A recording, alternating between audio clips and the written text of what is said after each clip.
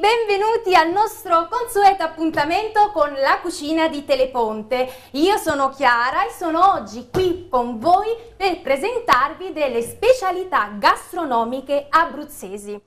Teramane, ma nello specifico di Civitella del Tronto, un grandissimo ristorante, pensate, attivo dal 1880. È con noi Daniele Zunica, il suo bravissimo cuoco eh, Sabatino Lattanzi Salve. e, Buongiorno. salve, e Filippo Di Clemente il pasticcere. Ciao, benvenuti nella nostra cucina di Teleponte. E cosa ci avete portato oggi? Quali sono i piatti che avete preparato per noi? Allora, io innanzitutto farò due piatti. Il primo è un assoluto di baccalà e l'altro piatto invece sarà la rivisitazione del pancotto. Quindi il pancotto è una ricetta antichissima rivisitata in chiave moderna. Quindi un- una ricetta antica, il pancotto, naturalmente vogliamo spiegare un po' quali sono le origini di questa ricetta, appunto tipica delle nostre zone. Beh, il pancotto è una ricetta che da noi si faceva per non buttare tutto il pane che avanzava, invece di darlo agli animali veniva ri- fatto rivivere, ribollire nel brodo di gallina Sì. e quindi si serviva la sera questo pane riammorbidito nel brodo con del formaggio sopra. Quindi la rivisitazione moderna, ci sono state alcune variazioni appunto nella, nella ricetta Che dopo vi spiegherò durante che la dopo trasmissione. eh, ci spiegherà. Eh, Daniele, io so che questa ricetta sarà eh, portata all'Expo di Milano. Vuoi spiegarci quali sono le date per chi eh, ci vuole seguire? Anche perché poi lo manderemo in onda proprio qui a Teleponte. Quindi perché avete fatto appunto questa scelta? Quali sono state le dinamiche?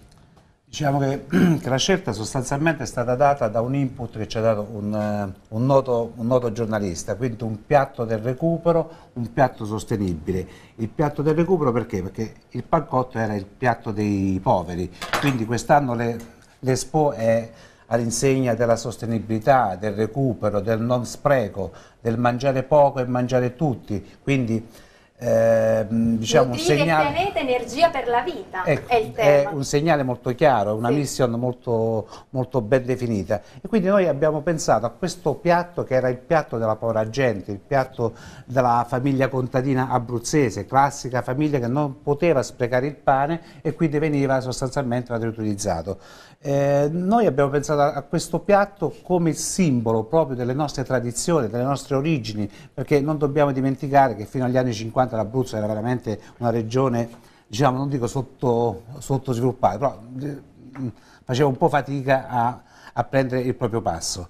Ehm, è un grande piatto, poi nel senso noi abbiamo lavorato molto sul pane, l'abbiamo arricchito con un grande brodo e qui eh, grande tecnica eh, di Sabatino, qui, mm, grande mano, ecco, la grande tecnica che eh, eh, abbiamo presentato questo, questo piatto che adesso porteremo per la prima volta il 24 giugno Giugno. a Casa Abruzzo.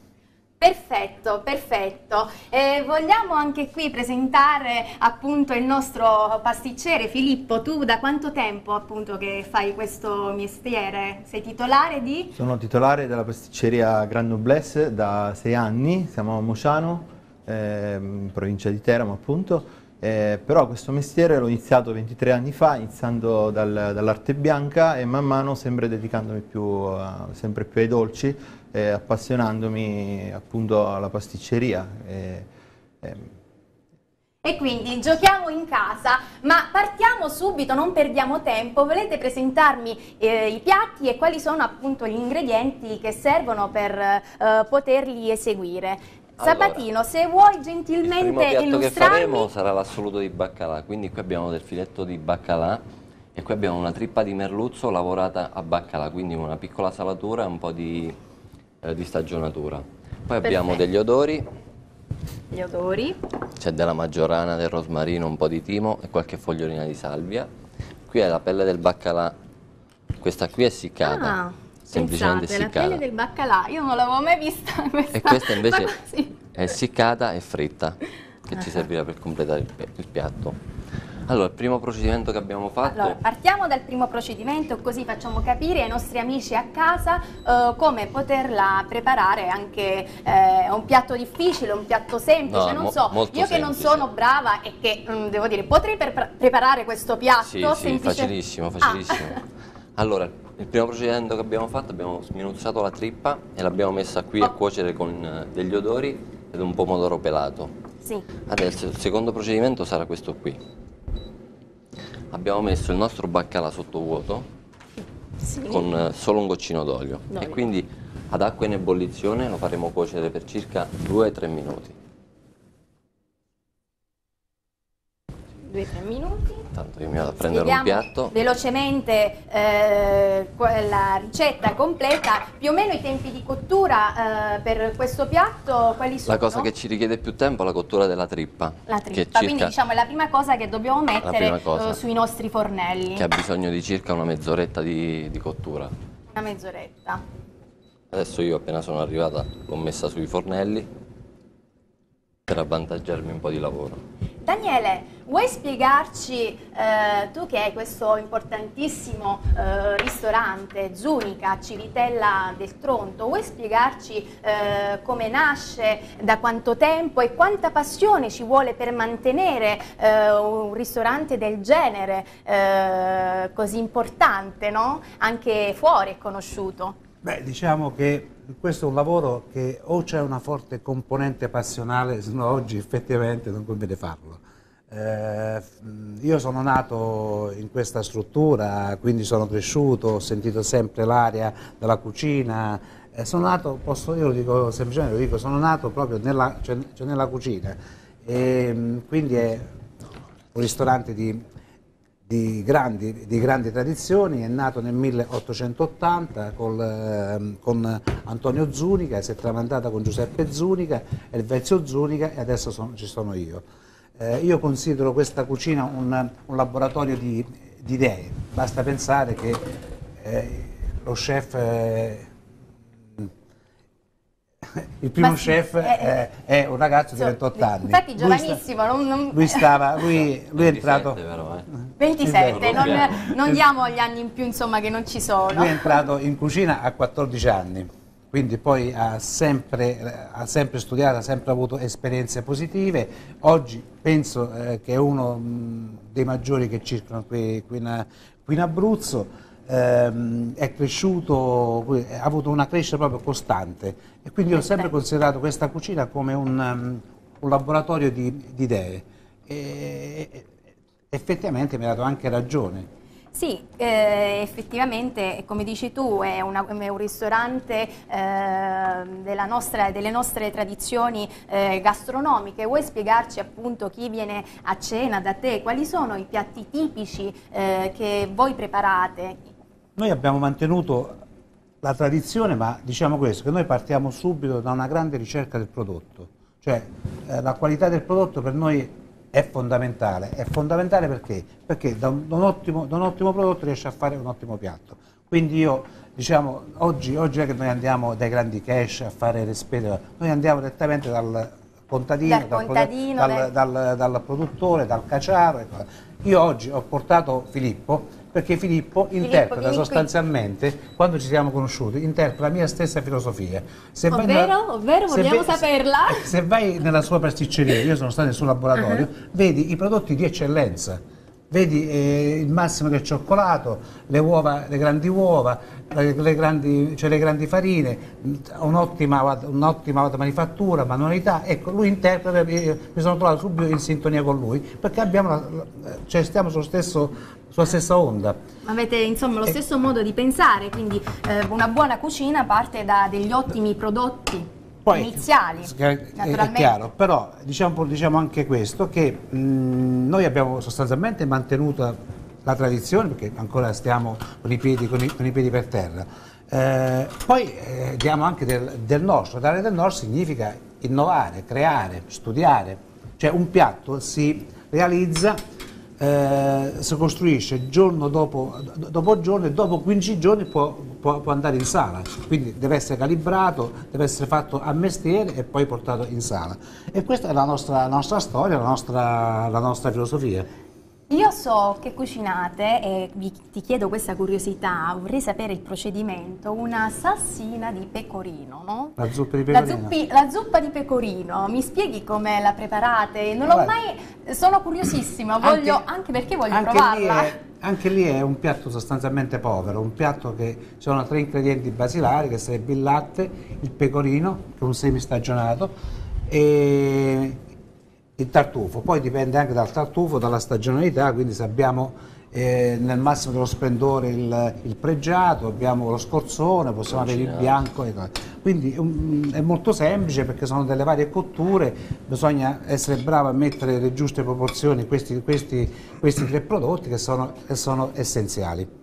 Allora, Forse Sabatino è pronto per... Se volete io inizio a impiattare. E spiegaci eh, di preciso allora, cosa alla, stai facendo. Alla base mettiamo la trippa che abbiamo precedentemente cotto. Mm, io sento un odore buonissimo, mi viene voglia di provarlo. Non si può, vero adesso? Beh, volendo. volendo. Dobbiamo avere sempre un, una forchetta pronta per l'assaggio. Io sono una buon gustaia, sono una buona forchetta. Quindi apriamo il nostro sacchetto dove abbiamo cotto il baccalà bollito, sottovuoto. Sì, questa è una cottura a bagnomaria sottovuoto. Quindi apriamo il nostro baccalà che viene poggiato sopra. Qui. E poi questo è un piatto che eh, fate spesso anche nel vostro ristorante, è, è piatto, molto richiesto? È un piatto che è in, che è in carta, l'abbiamo messo per la prima volta quest'anno Ah, quest'anno quindi? Diciamo, anche questo, questo 30 anni fa, 40 anni fa era un prodotto povero, oggi è un prodotto nobile, che il baccalà purtroppo... Qualche germoglietto colorato. Qualche germoglietto colorato, perfetto. Una volta infatti eh, il, il, pesce, raccontaci un po' come, eh, come veniva visto, quali, di chi eh, era, il baccalà, era, il baccalà era, il merlu, era, era, proprio il prodotto della, anche, anche, questo era il prodotto della povera gente, oggi mentre è un prodotto pregiatissimo perché diciamo anche questo che, che, che in provincia di Teramo abbiamo uno, de, uno dei più grandi importatori nazionali di baccalà che è Food Import Monti Ah, quindi eh, noi abbiamo anche questa grande tradizione, poi abbiamo vicino Santomero, quindi che ha una grandissima tradizione, ma io sin da bambino il baccalà, cioè mio padre era, diciamo, era il, piatto, mh, mm, il piatto suo del giorno, perché il baccalà si faceva, era un piatto povero, si faceva per la vigilia, si faceva per le grandi tradizioni e quindi invece oggi il baccalà è un piatto, diciamo, se si può dire, permettetemi questo termine, nobile. Quindi Sabatino, complimenti, facciamo vedere subito il nostro piatto di baccalà eh, poggiato. Oh, scusate, se scivola. E poi io non so, se me lo permettete io lo proverei, non so Daniele, eh, io so che mh, mm, Civitella del Tronto è, ha una forte storia, è un bellissimo paese, perché non mi racconti se ci sono delle, quali sono appunto le caratteristiche di questa, eh, una fortezza, di questa fortezza, quali sono gli eventi? Anche un po' tu che la vivi, c'è molto turismo, non so. Civitella, Civitella, del Tronto, nel bene e nel male, io dico sempre, con le sue criticità, con le sue bellezze, con la sua architettura, è, per me è il borgo più bello d'Italia, in assoluto. Non, non, lo cambio con nessun'altra parte del, del, mondo dove io, io, vivo, ho le mie radici, le mie origini, i, i miei affetti, eh, ho tante cose. Civitella vive, vive, delle realtà in questo momento come del resto di un po' tutta Italia, c'è delle criticità, c'è delle criticità di viabilità, delle criticità di mh, visibilità, però sostanzialmente quest'anno, nonostante nonostante tutta questa, questa, crisi, si prevedono de, de, degli eventi importanti, forse un evento importante inizierà il 12-13 luglio dove tutta, tutto l'Expo Moda viene trasferito in fortezza quindi eh, abbiamo diciamo, quasi il gota del, della moda italiana con, oh, in, questo grande, in, questo grande, contenitore, in questo importante contenitore, quindi penso che smonderanno eh, da Milano eh, il tutto verso il 9 luglio e poi verrà tutto trasferito a Civitella. Questo penso che è una collaborazione tra la provincia di Teramo, quindi dobbiamo dire grazie al Presidente grazie. Sabatino e, um, il comune, che abbiamo un sindaco che è un fenomeno. Lo salutiamo se ci segue. C'è una sindachessa, quindi eh, che La si salutiamo. sta- e quindi mh, sono, mh, sono contento. Poi ci sono anche degli eventi gastronomici, un evento importante il 20 e 21 giugno con il GAL dove Sabatino e altri chef di qualità Abruzzo si esibiranno in eh, cooking show anche sulla cucina del recupero. Il tema sarà è molto, diciamo quest'anno che purtroppo è, È il recupero. è- è- il recupero, quindi Certamente in questi materie tempi, prime diciamo, molto, forse la- molto povere, di qualità, però materie prime povere, quindi che costano poco, piatti poveri. eh. E, mh, sicuramente saranno anche delle altre iniziative e, Civitella, ecco, noi vogliamo, lavoriamo, veniamo a Teramo perché vogliamo recuperare quel rapporto anche con la città di Teramo che Certo. negli ultimi tempi abbiamo perso un po' per la viabilità, un po' anche per colpa nostra, però sostanzialmente eh, siamo sempre legati da un affetto molto forte. Sicuramente anche noi a voi. Daniele, noi eh, lascia- ci lasciamo un attimo per dare la pubblicità e poi torniamo con il piatto successivo. Questo baccalà mm, è buonissimo. Mm. Scusate, stavo mangiando ma è irresistibile. Dunque, passiamo alla prossima ricetta, prima che lo finisco naturalmente, Allora. e- altrimenti qui... La nostra seconda ricetta appunto è il pancotto, quindi partiremo con un fondo di olio extravergine d'oliva.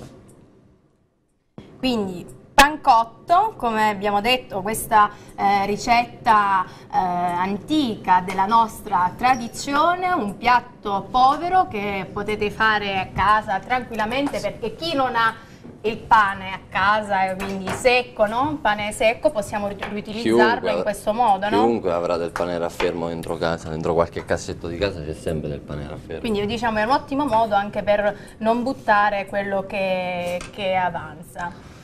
Daniele, vuoi parlarci eh, appunto di questa ricetta che porti alle- all'Expo eh, di Milano eh, come prodotti appunto che fanno parte, quali sono le iniziative di qualità Abruzzo all'Expo?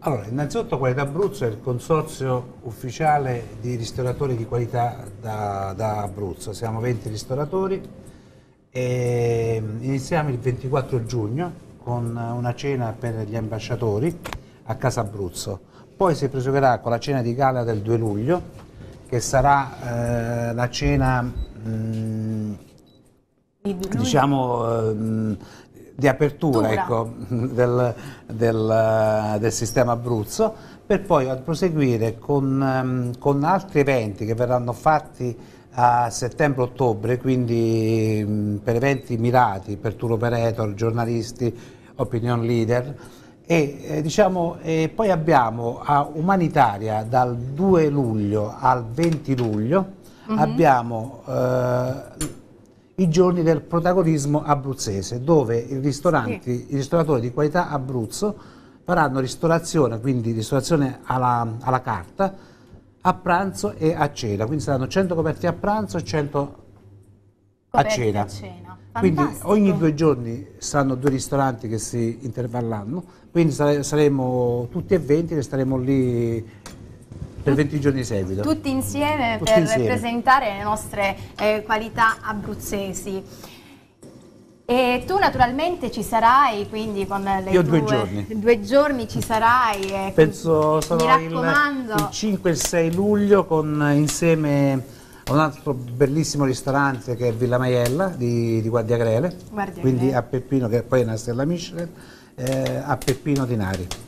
Perfetto, quindi diciamo avremo, eh, avremo modo di far conoscere le nostre specialità a tutti, che poi diciamo la nostra cucina, devo dire, sarà che ci sono cresciuta, ma ne vado particolarmente pazza perché è povera, come dici tu, ma di grande, grande qualità.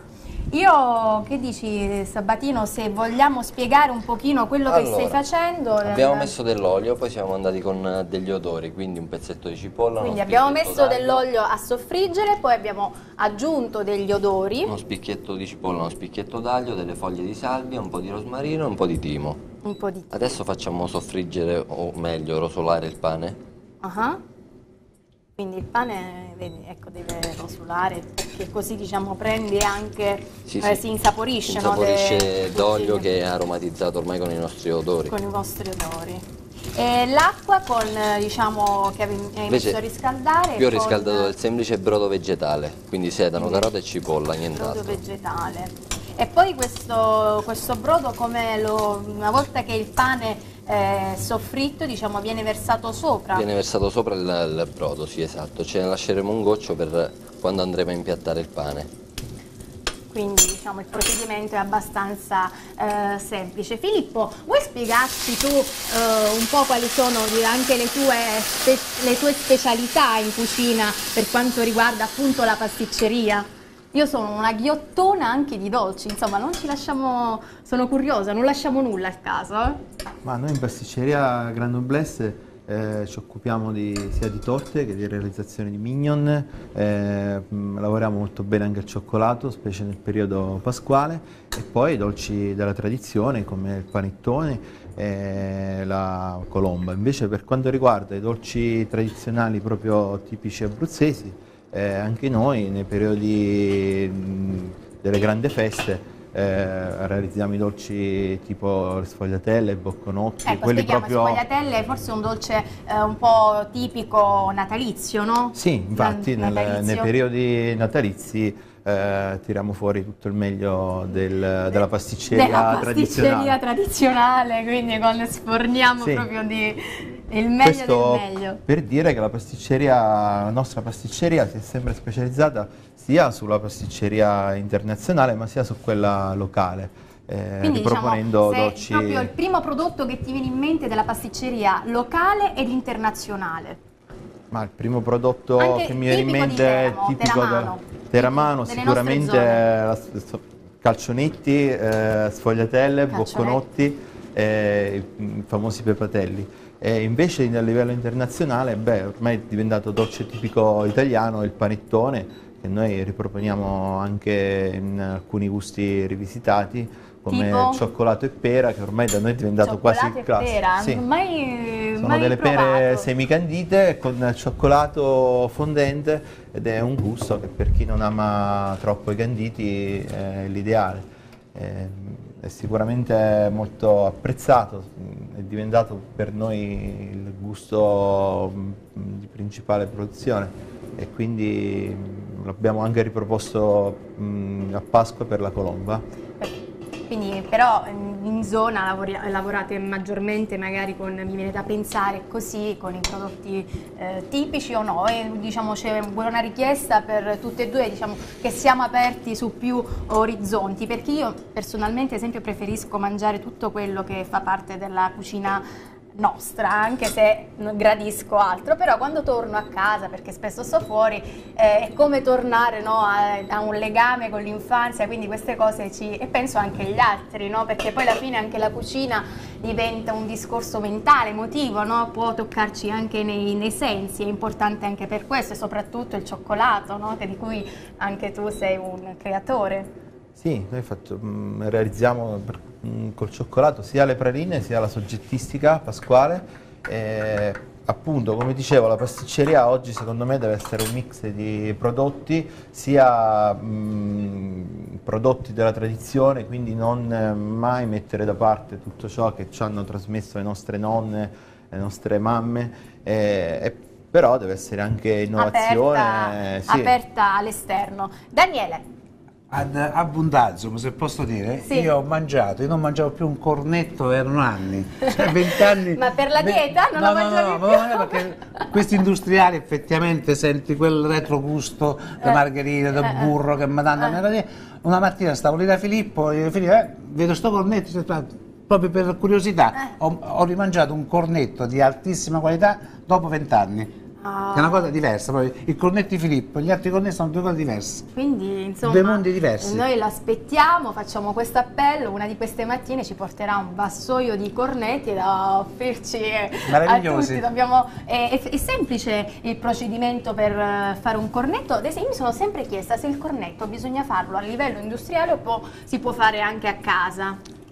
Ma a casa si può, si può sicuramente fare, però magari verrà un, un prodotto un pochettino più mm, rustico, diciamo, appunto perché non si hanno troppe attrezzature. Eh, noi in pasticceria li realizziamo, anche perché siamo, oltre ad essere specializzati nella realizzazione di dolci, siamo specializzati sulla colazione. Da qualche tempo abbiamo un'ottima caffetteria e, e lì dove i cornetti si possono sicuramente eh, degustare al meglio. Ehm, Quindi, eh, diciamo, dalla colazione al pranzo, chiamiamo Sabatino. Sab- Sabatino, un attimo se Sì, vieni qui eccomi. e ci spieghi cosa adesso, cosa, quale sarà il Allora, prossimo Adesso qui passaggio. il pane è ben insuppato, aspetteremo ancora qualche minuto che il pane si assorba tutto il brodo e poi lo andremo a frullare per fare la nostra crema di pane. Ha bisogno ancora di qualche minutino comunque. Ha bisogno quindi di Sì. qualche minutino. Eh, Daniele, io ho saputo anche così che hai un'ottima cantina di vini. Vuoi dirci quali sono? Io preferisco il bianco, non so quali sono. Io, io sono, io sono- anche tu. Io sono un bianchista Una nato. quindi sì. Sono amante delle fermentazioni spontanee, sono, mm, cioè, sono tutta la mia cultura particolare, però poi commercialmente è una lista di 500 etichette 500 etichette, pensate. 500 etichette. ma- eh, che viene curata mm, dal, dal responsabile da, da Maurizio Neri e dal maître in sala che è Giuseppe Procaccini. Sono due ragazzi che si curano questa bellissima cantina e niente, diciamo, molto impostata sulla territorialità, nel senso sull'Abruzzo, perché, eh, però che spazia in tutta Italia e all'estero. Quindi diciamo spazia in tutta Italia e all'estero ed è sicuramente eh, molto apprezzato, anche i nostri prodotti, anche i nostri vini sono sicuramente molto apprezzati anche fuori, no? ad esempio adesso ci sarà il progetto AMA che sarà una promozione del Montepulciano d'Abruzzo all'Expo 2015, quindi diciamo sia dalla cucina, i vini, insomma tutti i prodotti Beh, diciamo tipici della nostra... Diciamo, diciamo che l'Abruzzo negli ultimi dieci anni ha fatto dei passi giganti nel settore vinicolo perché ehm, è stato il, ehm, diciamo, gli investimenti sono stati fatti da bellissime aziende, da, dai- da imprenditori capaci. Ehm, Quindi diciamo che eh, naturalmente eh, bisogna promuovere quello che abbiamo perché è tutto molto di qualità. Noi torniamo con il pancotto tra qualche minuto, se volete mangiare restate qui con noi. Eccoci, siamo tornati per questa puntata frizzante e chiamerei subito Sabatino per spiegarci la ricetta, per finire la nostra ricetta eh, Allora. del pancotto. Adesso che il nostro pane è bello umido, lo andremo a mettere nel bimbi con tutti gli odori e tutto il brodo vegetale che è rimasto sotto. Quindi facciamo vedere a chi ecco, perfetto.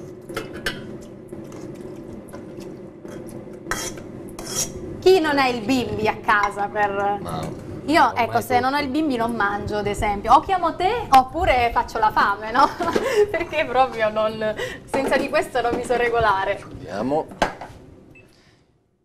Quindi mettiamo, mettiamo a qualche minuto cosa succede adesso. Ma un minuto, messo- un minuto e mezzo e, Lo mettiamo dentro al bimbi per farlo... e lo frulliamo alla massima velocità. Lo frulliamo alla massima velocità.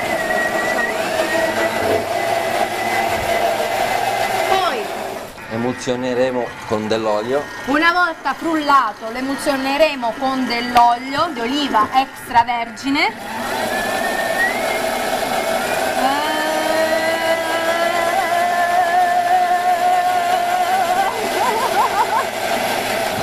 Pronto? Pronto? E voilà! Ci ecco siamo, ci qui, siamo. ci siamo. Allora, qui mi adesso, sono portato del pomodoro disidratato secco.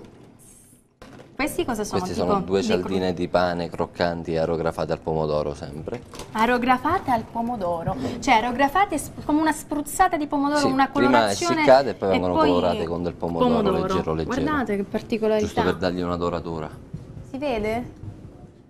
Come sono, come sono colorate. Adesso, Adesso passiamo pass- all'impiatto. Quindi, Quindi mettiamo, l'acqua, Un goccino di brodo vegetale. eh, il brodo appunto che abbiamo usato per la cottura Sì. anche. Un Quindi cucchiaio. mettiamo la nostra, Crema di pane. la nostra crema di pane sul brodo. Grazie. Ecco, spiegaci intanto fritata. Quanto tempo più o meno l'abbiamo? 2-3 secondi? Eh, noi abbiamo fatto subito, in Abbiamo fatto teoria proprio subito. dovrebbe no? Se avete qualche- il bimbi, poi naturalmente dipende anche dallo strumento che avete a casa. Questo che cos'è? Questa è della semplice farina 00 per pane, Quindi, che io aggiungo sopra, così. perché l'aggiungi? Guarda adesso. Adesso c'è. Scusate un attimo, no, no, no, un attimo. Vai su, vediamo l'opera. Il tocco di classe per la nostra ricetta. No, fantastico. Andiamo a bruciare della farina per dare proprio quel ricordo di pane appena sfornato. No, ma che dire. Ma è una cosa spettacolare. No, non ci posso credere, è proprio una finezza. Adesso depositiamo sopra il nostro Pomodoro disidratato. pomodoro disidratato, Le crostini cialde. Una e due. Ed è pronto. Ed è pronto. No, ma che dire Daniele, io eh, dimmi, dimmi. Se lo alziamo, casomai facciamo Se vedere l'alziamo anche- subito, no, l'alziamo anche, facciamo vedere, poi ecco qui. Si vede? Il nostro piatto, anche il baccalà di prima, ecco i nostri pian- piatti, quindi il pancotto e baccalà di eh, Daniele Zunica. Perfetto, e questo diciamo per quanto riguarda eh, la parte salata. Invece per il dolce cosa avete preparato per noi? Ma per il dolce abbiamo pensato di preparare qualcosina di fresco, qualcosina di stagione, eh, appunto non potevamo che scegliere le fragole e fare una mimosa alle fragole, una mimosa con eh, crema chantilly, pan di Spagna e fragoline di stagione, fragole di stagione. Quindi iniziamo subito con, Sì. eh, con questa ricetta. Eh, vuoi parlarmi un pochino, no, per far conoscere a, a tutti come nascono i, mm, i dolci della tradizione, qual è la loro storia? Ma la zona della provincia di Teramo, come diceva Daniele, un tempo non era proprio una zona fatta di abitanti mh, molto ricchi, quindi c'era sempre, c'è stata sempre un pochettino il, pensiero di dover accontentarsi e di ottimizzare quello che c'era. Infatti, dicevo prima, parlavamo delle sfogliatelle e dei bocconotti, non a caso, eh, se ci si fa un attimino attenzione, sono realizzate con eh, marmellata d'uva di Montepulciano e non una marmellata d'uva qualsiasi, devono per forza essere di Montepulciano, quindi eh, è l'uva eh, di di Montepulciano che è quella che più si trova nelle Perché nostre che parti. caratteristica ha questa marmellata? È più, più meno dolce forse rispetto alla marmellata tradizionale? Non so, come... Ma la marmellata tradizionale d'uva in genere è fatta anche con uva proveniente dall'estero, invece quella di Montepulciano ha Quindi, eh, una caratteristiche ben precise, ma soprattutto è quella che proprio usavano le nostre nonne, perché Ah, ecco. era il vitigno de- del- della zona. Eh, e infatti cosa si faceva? Durante la vendemmia si lasciava l'uva più bella e ci si realizzava appunto della marmellata che poi serviva per creare e realizzare i dolci eh, del periodo natalizio, dolci che venivano realizzati appunto con lo strutto, perché sia le sfogliatelle che i bocconotti tipici abruzzesi eh, di un tempo venivano realizzati con lo strutto subito dopo aver eh, ucciso il maiale, quindi, re- Quindi fatto- era anche per Sì. non buttare, diciamo, per non diceva, buttare non via buttava niente, nulla si, si riusciva a ottimizzare tutto con quello che si aveva, si riusciva a fare dei dolci veramente eccezionali e, e buoni. Un altro dolce tipico di Muciano, eh, non so se anche di altre zone della provincia di Teramo, sono i libretti di fichi. Ed è un dolce dove a Muciano sono andati sempre... eh, mm, sono Libretti stati di sempre fichi? sì, un dolce natalizio, eh, in ingheletto si chiamano eh, le librette, eh, perché sopra al- alle etichette dei libretti viene scritto appunto in ingheletto per ricordare eh, che è un dolce del passato. Altrimenti sono torroni di fichi, sono realizzati con i fichi eh, fatti essiccare, fatti essiccare un tempo venivano fatti essiccare al sole o anche con l'aiuto di qualche forno a legna, finito a fare il pane, eh, si facevano eh, essiccare, Essiccare questi fichi. E all'interno vengono eh, appunto assemblati con eh, dello zucchero con un pochettino di liquore, quello che si aveva, c'è chi ci metteva un pochettino eh, di, di, di, di rum, Cuore, di, rum, quello che si aveva. dipende poi Sì, anche dai gusti personali. eh, mh, si, met- si mette una fettina di cedro, delle mandorle abbrustolite, che appunto Mm. era un altro eh, frutto che in campagna si, si usava avere sempre, una Infatti, pianta di molti frutta dolci, secca. molti dolci nostri tipici sono eh, preparati con eh, mandorle, comunque Sì. c'è sempre questo, questo mm, materiale, diciamo questo, questo ingrediente, ingrediente. nelle nostre ricette. Eh, procediamo quindi al Sì. dolce del giorno. Allora, realizziamo una monoporzione, una mimosa, realizzato, dicevamo prima, con del mimosa. pa di Spagna, inzuppato con eh, una bagna al rum e primizie. Primizie è una- un distillato al profumo di ehm, tutta frutta estiva, come l'albicocca, la pesca, eh, il melone, e ha questo eh, profumo così fresco che appunto in estate è molto gradevole. Quindi bagniamo, Quindi lo insuppiamo un pochettino. questo è tipo pan di Spagna, giusto? Questo è proprio il pan di Spagna. Mm. Abbiamo nel frigo la nostra crema Buonissimo. chantilly, La crema chantilly, la crema chantilly che appunto si realizza eh, mh, con una crema classica, tuorli, zucchero, farina eh, e latte. E latte. Eh, invece la chantilly si va a alleggerire con eh, una parte di, di panna, quindi il rapporto che facciamo noi in pasticceria sono quattro parti di crema e una di panna. Per intenderci un chilo di crema e 250 grammi di eh, panna. procediamo con eh, Facciamo la- uno strato di, di crema, prendiamo Sì. le fragole, verranno diciamo questo è il prodotto eh, di frutta di stagione solo Sì. fragole oppure usate anche a seconda appunto delle stagioni variare questo dolce ma guarda, generalmente- la mimosa si può fare veramente con tanti frutti. di solito di solito oltre Noi di solito fragole- nella pasticceria Granoblezza la facciamo con le fragole, Eh, qualcuno ce la, ce la richiede con eh, la pesca oppure con l'ananas, eh, che forse ricorda anche un pochettino di più la mimosa. certo perché visto- magari è più aspra come Ma no, forse per il colore del- Ah, mm, della frutta dentro che ricorda appunto il fiore della mimosa.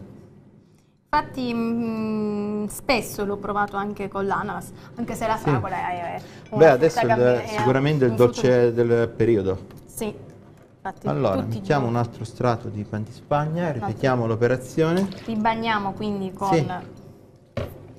Questo composto. Mettiamo la crema, quindi diciamo lavoriamo, è un dolce che si lavora a strati, quindi rimettiamo le nostre fragole sopra. Ah, diciamo che è proprio una micro torta Una micro, che sì. diventerà una monoporzione. Le torte grandi mimose le facciamo con eh, lo stesso procedimento. Voi come catering lavorate molto? o- Noi abbiamo anche un servizio catering con della pasticceria salata, sia anche lì, sia tradizionale, sia con della pasticceria eh, con dei mignon moderni. E, mm, sì, r- facciamo anche dei buffet, sia dolci e appunto salati. Allora, Daniele, io devo chiederti intanto che lui poggia diciamo, la sua decorazione in un piatto, che c'è stata una polemica su Facebook che è nata proprio sulle ceppe eh, di Civitella del Tronto. Perché è nata questa polemica e su cosa si discute? Vuoi spiegarmi un pochino? Ma diciamo che è una polemica mh, Che, anche spieghiamoci, molto... le ceppe di Civitella fanno parte proprio della tradizione del, del vostro luogo. Diciamo che la pasta tipica nostra civitellese, che è la pasta fatta in casa, molto semplice, ehm, viene fatta con un ferretto, con un ferretto di ferro, eh, che sostanzialmente ehm, diciamo, eh, è il simbolo della nostra gastronomia, è il simbolo della nostra storia e diciamo, negli ultimi anni, anche per colpa soprattutto di noi, perché ehm, la colpa è nostra sostanzialmente, eh, queste ceppe sono andate in mano perverse, in, altre, eh, immagino che adesso le ceppe vengono fatte anche dagli stessi cinesi. Quindi, come è successo come nelle confezioni. Allora No, io, non ci posso credere. come nelle confezioni, stessa cosa. Noi abbiamo, Ma no, cioè, nulla togliere contro mm, la cultura cinese, naturalmente, No, però, però, mm, magari eh, sono abituate a, a un altro tipo di cucina, ecco, Ecco, quindi diciamo, non fa parte del... Le ceppe è una pasta, anche, anche come pasta, è una pasta povera perché è, è farina, uova e acqua. Eh, poi serve la manualità, la bravura della massaia, perché la massaia deve essere bravura, deve essere molto molto brava.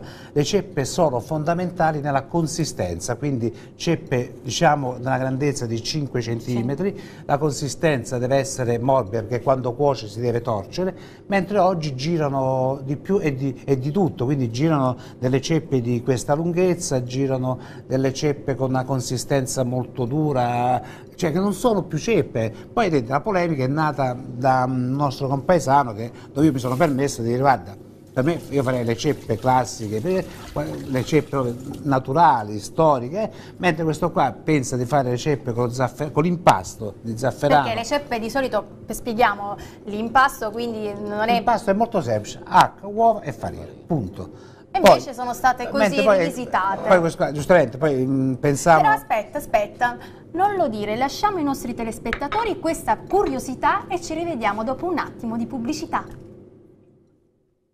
Eccoci qua, siamo tornati appunto per Daniele, ci svelerà questa curiosità su questa polemica nata appunto nel social network Facebook sulle ceppe di Civitella del Tronto. Quindi eravamo rimasti all'impasto Niente, le ceppe, come dicevo prima, è un impasto molto semplice dove c'è acqua, farina e uovo. Poi, giustamente, eh, le varianti, le deviazioni, mm, secondo me non sono compatibili perché poi le vogliono fare con lo zafferano, prodotto a Civitella, quindi già lo zafferano è un prodotto tipico aquilano, e tanto è vero che hanno la DOP, e eh, poi farle col nero di seppia, quindi col... cose... Io ho detto solo che le ceppe devono mantenere la sua consistenza, la sua forma e poi il condimento, il condimento che è quello classico, quindi un classico ragù tre carni con manzo, vitello e maiale, classico ragù napoletano che bolle 4-5 ore, che pippa 4-5 ore e eh, la mantecatura deve essere perfetta con aggiunta di parmigiano. L'unica variante che posso consentire è quella del pecorino, perché mm. diciamo, è un rafforzativo a chi piace quindi la polemica sostanzialmente io non l'ho fatta, oppure chi mi ha risposto, non l'ho fatta per il bene di mantenere un prodotto nostro, di dargli la propria tipicità, di avere la stessa, la stessa consistenza anche in bocca. Io ehm, vengo da, cioè, io ho mangiato le ceppe da quando, da quando sono nato. nato. Sono nato col, col, con la ceppa in bocca. No, col, col, ferretto che sentivo quel trank, quel delle massaie trank, di, di, mia nonna che sentivo in cucina, quindi è quasi mh, un dispiacere vedere sta pasta eh, talmente violentata, talmente sì. massacrata che eh, è, perché oggi, oggi, oggi c'è dei ristoranti che poi non è solo a Civitella, perché le ceppe oggi vengono, vengono usate dai ristoranti minori, e questo è il brutto, dai, dai, ristoranti minori, vengono usati un po' nelle Marche, anche eh, in tutto Abruzzo, anche a Teramo.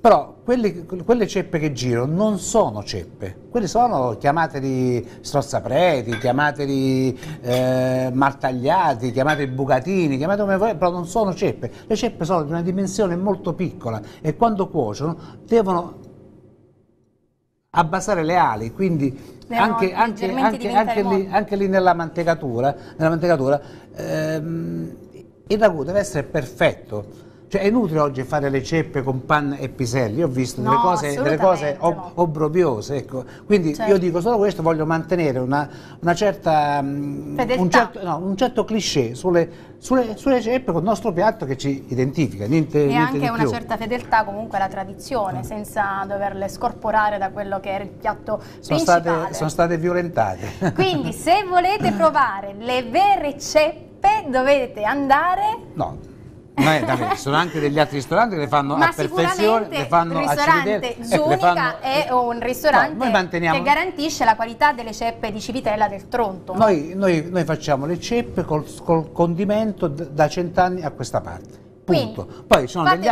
ci sono, degli, altri ristoranti che lo fanno altrettanto, altrettanto bene, bene, però il tuo e... sicuramente è un punto di riferimento per chi vuole provarle.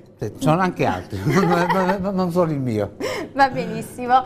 Eh, noi mh, bene, abbiamo fatto un po' la decorazione del nostro, della nostra mimosa alle fragole. Vuoi sì. spiegarci Filippo cosa hai fatto in questi, in questi minuti insomma, che non abbiamo visto? Sì, abbiamo ricoperto appunto la nostra tortina che abbiamo realizzato prima con eh, dei ritagli di pan di Spagna appunto per riallacciarci al discorso iniziale di, del recuperare tutto in pasticceria come nella ristorazione eh, bisogna per forza di cose recuperare tutto perché appunto è veramente un peccato buttare delle cose. Eh, ecco, nella mimosa si riesce a recuperare magari quella fetta di pa di Spagna in più che si, che si ha nel, nella realizzazione della torta, eh, per appunto, eh, sì, noi abbiamo preso questo del pa di Spagna, abbiamo tagliato a tocchettini e l'abbiamo rivestito fuori, quindi a farla somigliare veramente a una mimosa, ah, così come alla, mimosa, alla mimosa del eh, del fiore come, come, siamo abituati a vedere. Prossimo passaggio qual è? Prossimo passaggio, lo serviamo sì. così? No, no, no. adesso lo eh, finiamo di decorare, mettiamo un piccolo spuntone di crema chantilly sopra, mm. mettiamo un piccolo spolvero di, eh, anche su, di zucchero a velo, anche sui, eh, sui, frutti di bosco che ci sì. serviranno poi mm. per eh, decorare il piatto eccolo qui, si mette in genere su un lato. Buonissimo, buonissimo, già sto... Non so da dove partire, se è dal salato o dal dolce. Decidete... Ma sicuramente dal salato il dolce viene sempre alla fine. Ma si dice che diciamo. nello stomaco poi si mischia un po' tutto, io sono un po' una senza regole in questo, a volte parto dal dolce per finire al salato, non so. Poi quando è buono, insomma, è tutto... Facciamo un bel decoro di frutti di bosco che sono sempre molto ci danno sempre mm, moltissimo colore. Ecco Eccolo qui, qui. La mimosa è pronta. Ecco la nostra mimosa alle fragole, guardate, stupenda. Quindi, assoluto di baccalà. Ricapitoliamo. Daniele, vuoi farlo tu? Assoluto di, di baccalà. baccalà. Il pancotto, la Pan modernità del pancotto e la mimosa di Filippo. E la mimosa di Filippo, perfetto. Io a questo punto Pro, inizierei a provare tutto, proviamo la mimosa, volete provare anche voi ragazzi? Sì. Dai, prendiamo i cucchiai così facciamo un assaggio eh, generale di questi piatti. Daniele, vuoi dire qualcos'altro prima della chiusura? Niente, io, ecco, anche qui, anche qui ehm, dicevo come, come, ho detto prima, anche qui ad Bravo di Filippo perché usa sostanzialmente prodotti di eccellenza, prodotti di qualità, io so le uova che usa, so come fa la crema. Grazie. Eh, quindi... poi quello che ci terrei a dire è che da qualche mese a questa parte abbiamo, abbiamo trasformato tutta la nostra pasticceria in pasticceria senza lattosio. Mm. Ad oggi circa l'80% dei prodotti sono senza lattosio perché il problema attuale è che sempre più ci sono intolleranti al lattosio. Mm, eh, parecchi giusto. sanno di esserlo, parecchi si sentono soltanto male, non sanno eh, qual è la causa. Eh, noi abbiamo scelto di, invece di fare alcuni prodotti senza lattosio, farli tutti, eh, sia chi ha il problema per chi non lo ha. Tanto i nostri dolci vengono bene allo stesso modo, senza cambiare in nessun modo sapore o gusto. Benissimo. Io mm, vi ringrazio perché non solo mi avete insegnato tantissimo oggi qui mm, cucinando con voi queste, queste, queste ricette. Ricordiamo appunto il ristorante Zunica di Civitella del Tronto che ha tutti questi prodotti tipici della tradizione. Il 24 giugno giusto sarà all'Expo appunto con una delle nostre ricette che abbiamo presentato con il pancotto. Ricordiamo il bravissimo e 27enne cuoco Sabatino Lattanzi. Ricordiamo il nostro Filippo Di Clemente grandissimo pasticcere quindi che anche mi ha detto prima una una tua attività, ricordiamola? Sì, l'attività eh, sta a Mociano, in via Passamonte 19, eh, si chiama Granoblesse, pasticceria Granoblesse. Perfetto, io se siete d'accordo vi ringrazio, chiuderei qui e vi aspetto la prossima settimana ancora con tantissime ricette. Sempre qui alla cucina di Teleponte, un bacio, a presto, ciao!